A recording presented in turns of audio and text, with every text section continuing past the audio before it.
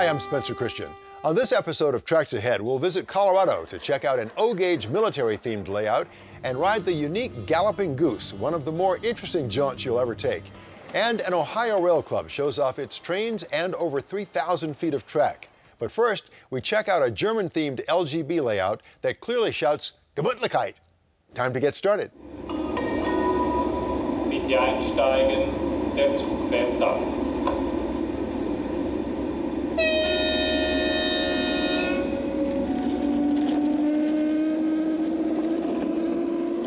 A Rhaetian Albula Railway express train briskly departs the Surava station, pulled by one of the modern GE 44 electric locomotives.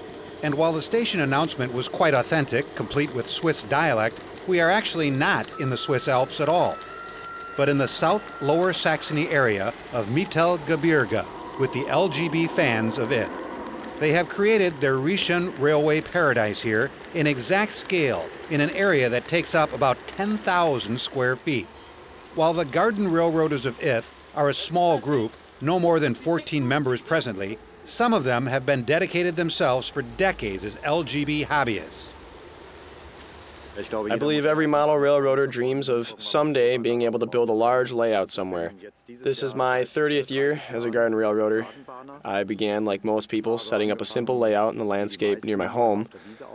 Well, actually, the very first was in my playroom, of course, and later in the space available in the attic. About 10 years ago, my parents bought this very piece of property. It then became possible to realize my childhood dream right here.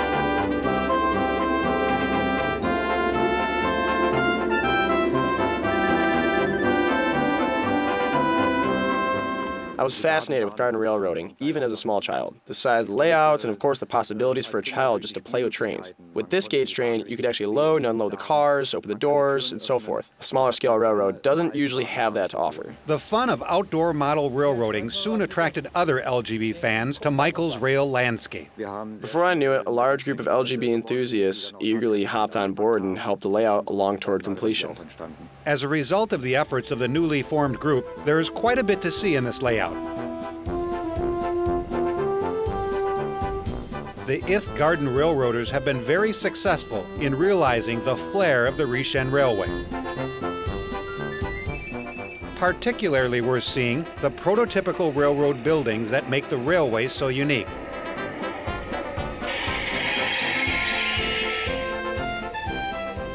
Detailed figures that feature both locals and tourists are tucked in throughout the layout. Ten years of hard work have certainly paid off, with several hundred tons of material moved and reformed to create the subbed for the Rhaetian Railway in miniature.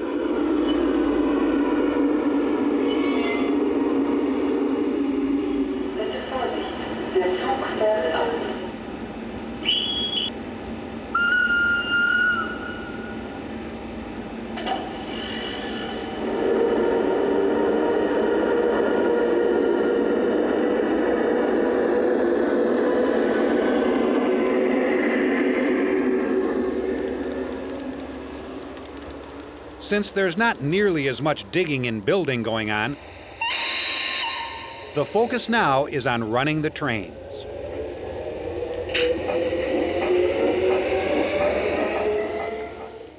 I worked on HO scale for about 45 years, and as I aged, it all became a little too small and delicate for me. I had seen LGB from time to time, and I simply fell in love with it. So I decided to sell the HO and bought LGB equipment with the money I received. I have a cute little layout of my own in the living room. About 70 square feet, Saxon narrow gauge, because I come from Saxony. I enjoy it very much. Then I'm a member here in the Eschershausen Club and have a lot of fun and good times as part of the club. Dispatching the trains is a big part of Klaas's work with the railway. Hast du die 205? Ja, ich. Kannst du annehmen? Ja. We have our radio systems, and I get the train number from another user. I take the train and run it through my station and then hand it off to the next station. Or perhaps a number comes from the station way on the other side. I'll take the train, run it through the tracks here, and again hand it off to the next station. Running these LGB trains is almost like running on the real life Rhaetian Railway. Not by following a rail schedule by the book, but by emulating the different types of trains and various motive power found on the actual rail line. The trains run on about 2,300 feet of track, joined mechanically with bolted rail joiners. The operational reliability of these digitally operated locomotives is impressively high as a result. And to top it off, the ITH LGB Club members have succeeded in emulating a true alpine atmosphere in their layout. Approximately 60 tons of rock, skillfully placed on this large layout, ensures that the trains have to struggle against the man made mountains, just as the real railway does in the altitude of the Alps. It's one of the things that's so impressive on this layout because here we have a difference in height of almost 15 feet, which the trains must actually overcome. We have grades set at 4.5%, or almost 5 inches per 100 inches. You can guess that the locomotives have to work very hard to master that grade.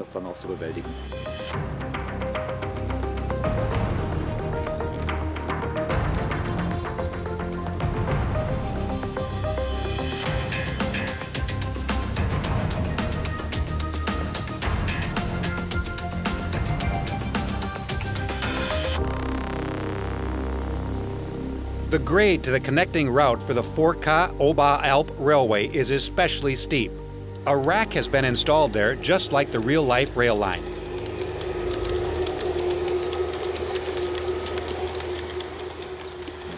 We have over 600 trees on the layout.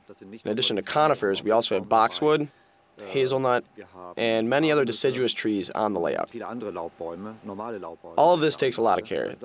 The deciduous trees alone have to be trimmed regularly every 14 days. The conifers only have to be trimmed twice a year, so they're not nearly as maintenance intensive. The Ith Garden Railroaders always have work to do, whether on this garden layout or any other that their group takes on. And the pride taken in their work is evident in the results time and again throughout Lower Saxony. The Rhaetian Railway, its details, scenery, trains, and operation is an excellent example of what a group of rail friends with a love for LGB can achieve together and share with all.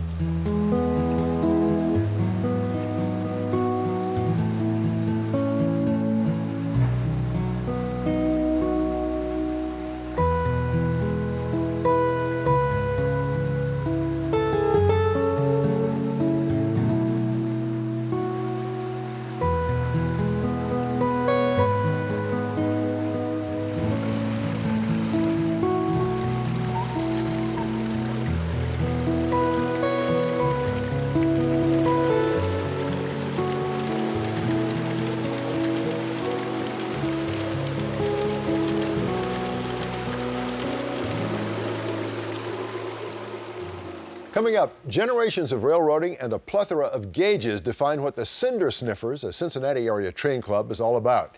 Next, one of the more interesting garden themed railroads you'll come across. This O gauge military layout near Denver features quite a unique motif. Gordon Callahan has always been interested in World War II, and he's always been interested in railroading. World War II has always been an interest to me. I think it's probably one of the most interesting periods of time because there was so much change uh, in technology and uh, the basic thinking of how life should be and how wars should be fought. Gordon thought that it might be fun to approach the whole garden railroading project from a different perspective. I came up with the idea that it would be fun, along with having the railroad, to try and teach history. And so the way I did that was to implement what it would be like in a German city in 1945, uh, right at the end of the war, and then put in some of the German uh, military equipment, and also use it as a learning experience. Gordon started with LGB, but eventually settled on a slightly smaller scale. LGB, again, is a larger scale, so I wanted to go to a smaller scale, 1 to 32, uh, which is what the railroad is. So the, the search uh, in America proved that there wasn't much interest, so I had to go to Germany. So I began to buy the Märklin trains, uh, the uh, Märklin buildings, which are again are all 1 to 32. So the biggest source today that makes this all possible is eBay. And uh, the people in Germany will put uh, buildings, trains, and all of the things you need to build a railroad. In addition to the everyday freight and passenger service, Gordon also gave attention to the military use of the railroad.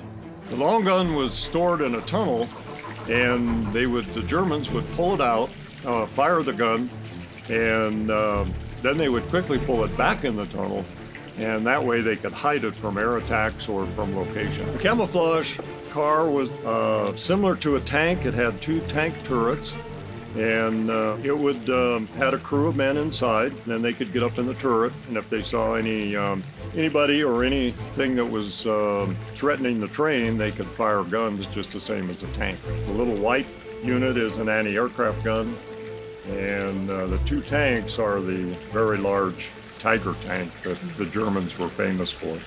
Gordon has also built several dioramas for occasional placement in the railroad. The oil refinery was a, um, a dream of mine years ago. I'm a person who likes to say that refinery, if it was real, would work. Well, finding out how refineries work is kind of a secret. Uh, most people won't tell you much. So I had to find oil people that would actually sit down with me and say, this pipe goes here, this pipe goes there, and this pipe goes over to the, to the loading facility. Landscaping is all scaled down to the smaller size. Gordon handles the trains, but the landscaping is left to others. Landscaping is two things. We have our perennials. Uh, we have a lot of early perennials that are very colorful.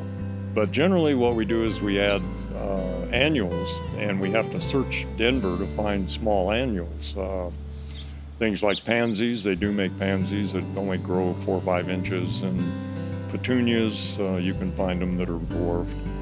And so we buy, we will probably put in two to 300 little plants.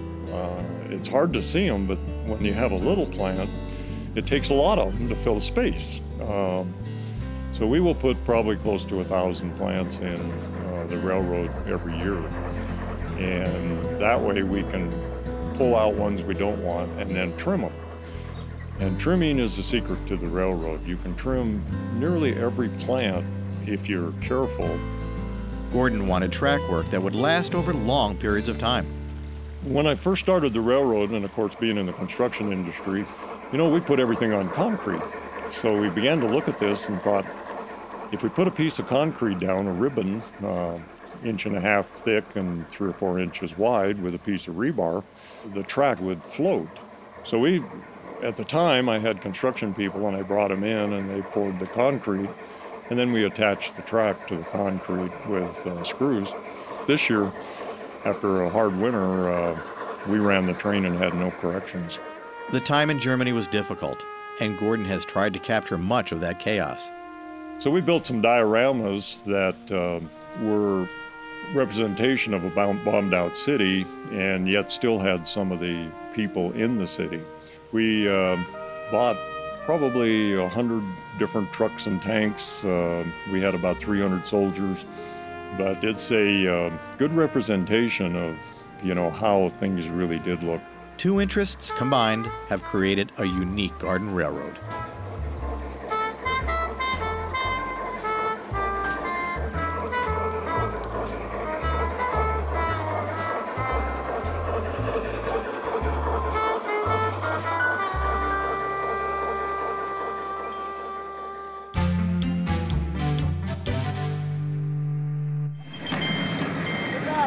Short drive west from Cincinnati leads one to Lawrenceburg, Indiana, home of the Cinder Sniffers.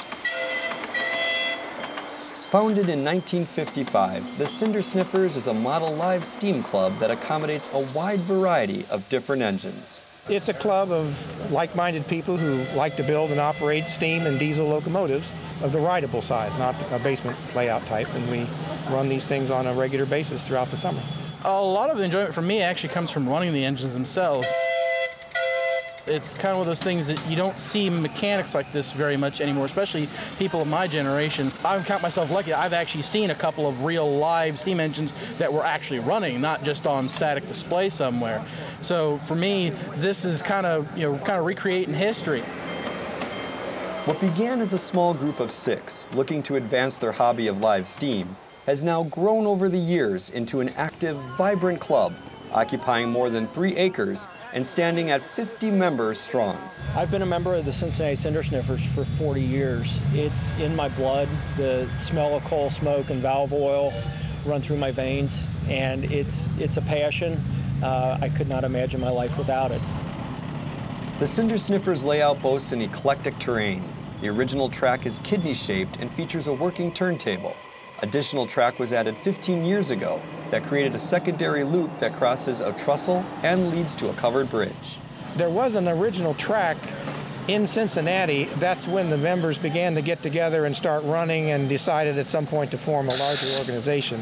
And then they bought this property and began building the, the kidney-shaped track that's the original layout. The club has evolved over the years. The buildings and grounds are continually evolving uh, adding more track and sidings and uh, buildings, that type of thing. When I come out to the track, the uh, woodsy atmosphere is one of my favorite attributes of, of the railroad.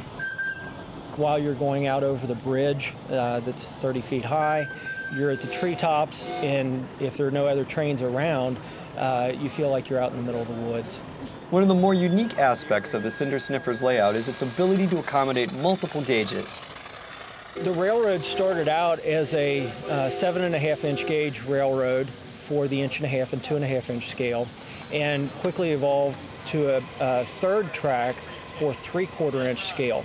Since then, one inch scale has evolved and become very popular also.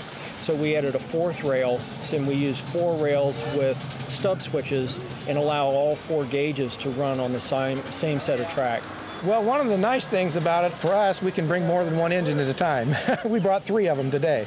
Most guys with the inch and a half scale can't bring more than one at a time. One quick look around, and one can't help but sense the family-friendly atmosphere Cinder Sniffers provides. People grow up on the track here, and multiple generations often come together to share in the fun.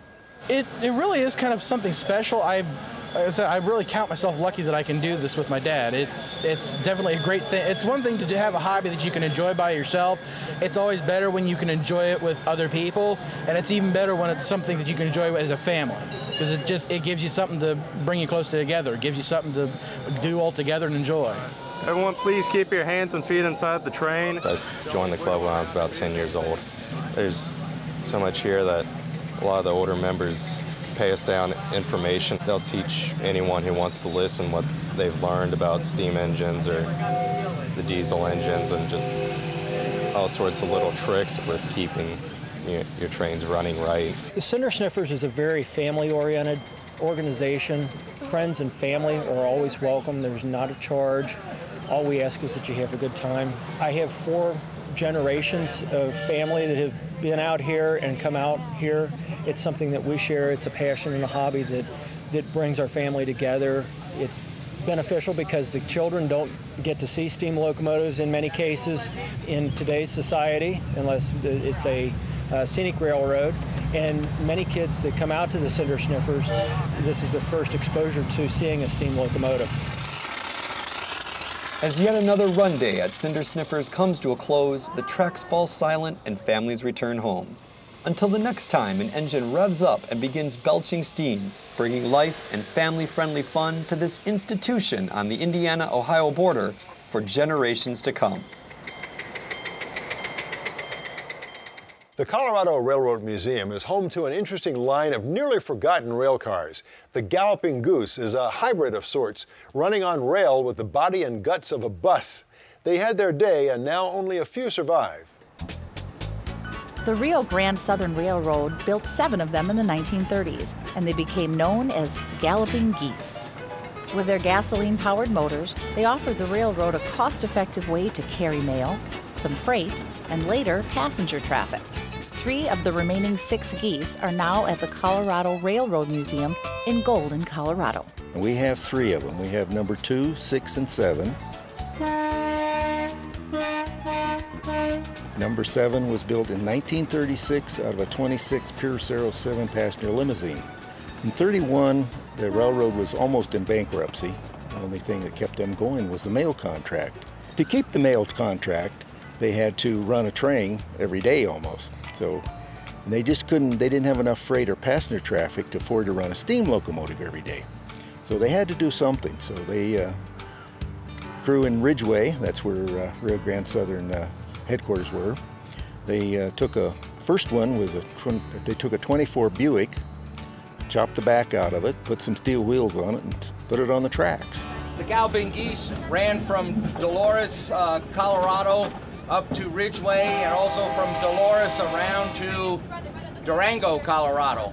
So they serviced the mail of all those mining towns in there, Rico, uh, Stoner, and Telluride, and uh, then again back into Ridgway. So they would turn it around and come back the other way and pick up a sack of mail, a few passengers, and a little bit of freight. The geese allowed the failing railroad to stay in business during the Depression in the 1930s. Well, it worked very well, except the post office didn't like them carrying the mail in the back in the open. And if they had more than one passenger, they had to sit on mail. They didn't like that. So they turned around and built number two, which is uh, right behind us up on the hill. It had a bigger box in the back, and they could actually put three passengers in, three or four passengers in that, depending on how, how closey they were. And uh, that worked fantastically. And also in 31, they built Goose number three, which originally looked just like number seven does. And uh, that was fantastic. It paid for itself in a few weeks.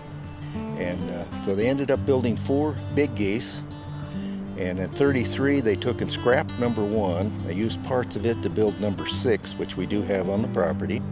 But there is a reproduction of number one in Ridgway, Colorado, at the museum there in Ridgway. And uh, it actually uh, saved the railroad. It kept the railroad running in, in the red, or in the black rather, for 21 years. And they called it a galloping goose because uh, the Rio Grande Southern Railroad tracks weren't very even and it waddled down the tracks. And when the horn, when they blew the horn, it sounded kind of like a goose. So it originally it was sort of a derisive title, but then it became a term of endearment later. In 49, they lost the mail contract. That's when they put the windows in the back of the four big geese. And at that time in 1949 and 50, Denver was getting rid of the trolleys. So they bought a whole bunch of trolley seats, put those in the back of the geese. When they started doing the excursions, they tried that for two years, 50, 51, and that wasn't enough to make a go of it. So 51, 52, they sold everything off, tore the tracks up, and abandoned the railroad. The geese were powered by automobile and truck engines and ran on gasoline. It's very expensive to run a steam locomotive and very labor intensive. And gasoline, get in, turn the key, and you're ready to go. Goose number seven is driven like a car with a manual transmission, with no steering wheel, of course, and air brakes. There's no steering wheel and no brake pedal. They, uh, they, number seven was the first one that they built, and they made uh, put air air brakes on it. That was a 10-year-old car when they bought it, and we don't know if the Pierce Arrow engine was shot or whatever, but they put a 36 Ford V8 flathead in it. They ran that till 1946 and that's when they bought uh, four war surplus GMC truck engines. And they were an oddball engine. We don't know what they were used in as, as far as the military go. Everybody says they were deuce halves, but they're not. And uh, they put that in the four big geese. And if you look at the goose, uh, you'll see that the, the larger geese have a little Chinaman's hat over the hood. That was because the air filter on those GMC engines stuck up too high. On the goose ride, we'll take you for uh, a tour of, of the grounds. You'll be transported back in time because the, the loop of track that we have is so prototypical of what it was like to travel in the mountains of Colorado. I uh, happened to be uh, fishing on the Dolores River with my uncle back in the late 40s and watched one of the geese go up the, up the tracks. Never got to ride it then, but now I get to drive it.